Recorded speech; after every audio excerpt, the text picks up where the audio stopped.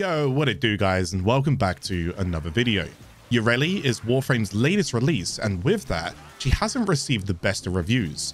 Overall, her kit is quite lackluster in terms of performance and doesn't pack a punch in either survivability nor damage dealing. Just yesterday, DE tried to amend this by buffing her kit in several locations, her passive, her first ability Sea Snares, her third ability Aqua Blades, and even her fourth ability Riptides. With this being said, she's still underperforming across the ability boards. However, the increase to her passive from 100% critical chance whilst moving to 200%, now this was quite an unexpected buff. In reality, I felt like that they didn't need to do this. So, with a few discussions, we decided to have a look into a build and the results were quite insane. Using the Sporelacer as an example with Equinox Subsume and her passive, I was able to one-shot level 180s like it was no challenge. What's the kicker here is that although I'm using the new Galvanize mods and the new Merciless Arcane, they're not really active before the initial shot, so this basically means it's her one-shotting the 180s before any of the other scaling starts to kick in. So we don't actually see its true potential right now. For Yareli's builds, I went with strength, duration, and some survivability. I decided to subsume off her fourth ability, Riptides. Now this was because it locks you in an animation whilst casting and has high drain. It didn't really help blasting enemies around in the area either. So this is where we bring in Eclipse to subsume, to buff our secondary weapons, and to synergize that with our passive. From there, I wanted to reuse the Sporelacer. Since released, this weapon was always quite powerful. It's like an old infested Catchmoon kind of style. It's got great AoE and puts out good numbers. Using Sporelacer Chamber, Haymaker Grip for the most damage output with a Splat Loader for highest critical potential and Magazine, I was able to pop in those new mods and arcanes and really see some great raw damage output. Even if you're not using Yareli, it's still a strong weapon to use right now.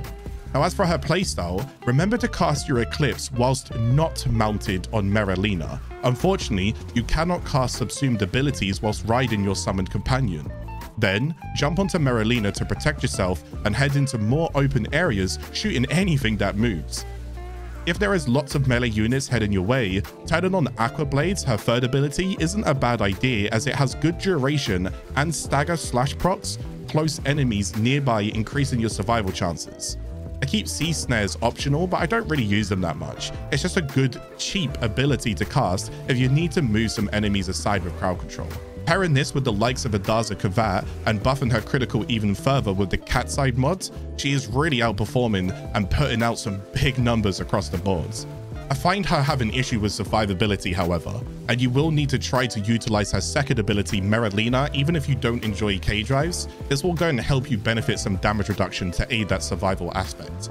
Otherwise, bringing in arcanes like Aegis are surely to help you as well. Just don't make yourself such a stand-in target and try to keep moving in open areas. This build holds some great meme potential, some great damage potential, but is still not at all that practical, especially not that much as a solo player.